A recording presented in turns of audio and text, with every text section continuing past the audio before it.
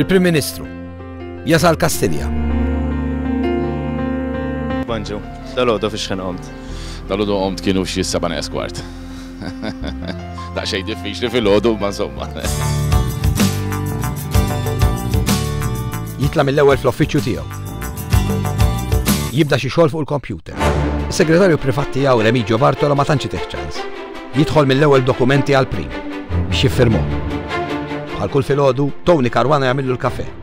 Kif jiġi nagħmlu l-bnigen daqsxejn kafè? U l-ħaddiema li għandna jafu dar-ritwal tiegħi, allura qasandi għalfejn ngħidilhom, jiġifieri jafu li l-ewwel ħaġa filgħodu kikra kafè qabel ma jgħidu li bonġu. Remigio Bartolo jerġa' jidħol għal aktar firem.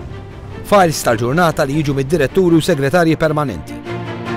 Patrick, id-driver tiegħu, x'jgħid fuq il-Prim Ministru? Il-burdata li nduna biha, kif kollox burdata tajba jew burdata ħażina, imma normalment dejjem dik it-tbissima baqa'. U l-Prim Ministru? X'ħin jasal lura d-dar? Probabbilment ikunu naħseb jiena xi ħdax, xi ħdax u kwart ta' bil-lejl. U x'ħin jieqaf biex jiekol?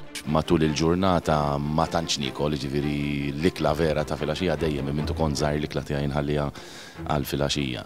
Però it-tobba jgħidu li mhux l-aħjar ħaġa li tagħmel u allura mhijiex mhix qed nirrakkomanda. Il-problema li għandi jiena li ma nkunx nista' nitlaq minn idejja biex imur id-dar niekol jew niekol x'imkien ikunu xi sitta seba' ta' filgħaxija, allura jkollok tirrassenja ruħek.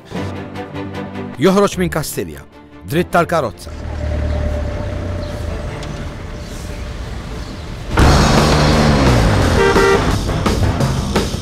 Ikompli bix-xogħol fil-karozza.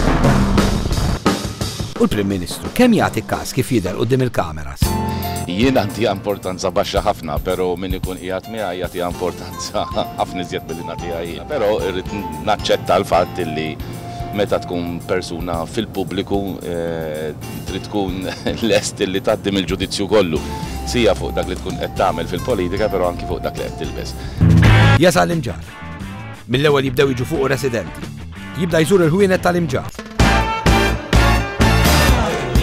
Jiltaqa' ma' l-Imġarri. Jiltaqa' ma' l-ixjaħ raġel tal-post.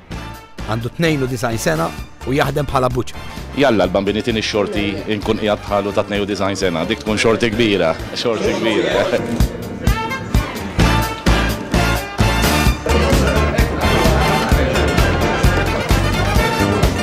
hawnhekk l-ambjent tipikament tagħna l-Maltin. Eh, u verament uħu pjaċir. Kastilja naturalment huwa il-post fejn tmur ħalli tiffaċċa